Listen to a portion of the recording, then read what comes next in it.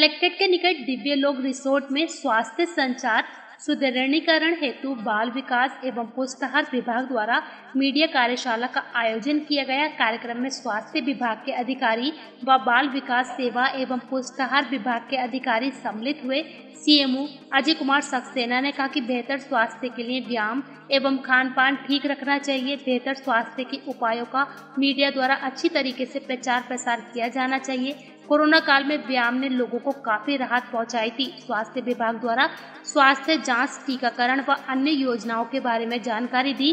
बाल विकास सेवा एवं पुस्तहार रूला के अधिकारियों ने आंगनबाड़ियों में चल रहे योजनाओं की जानकारी दी और योजनाओं का लाभ लाभार्थियों तक पहुँचाने की बात कही। कार्यक्रम में सम्मिलित हुए जिला सूचना अधिकारी ब्रजेश कुमार ने बताया कि मीडिया एक चौथा स्तंभ है जो सरकार की योजनाओं का प्रचार प्रसार करता है और जो जन उपयोगी काम है उनको उजागर कर लोगों की मदद करता है। इस दौरान जिला प्रबंधक संजीव राठौर सीडीपीओ अजय कुमार त्रिपाठी आदि मौजूद रहे। जनता के लिए क्या संदेश देना चाहोगे?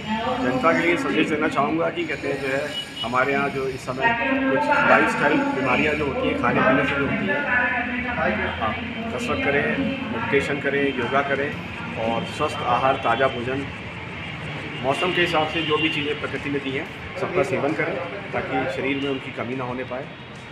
स्वस्थ रहें, वैश्विक महामारी है शरीर को जो है ऊर्जावान बनाए।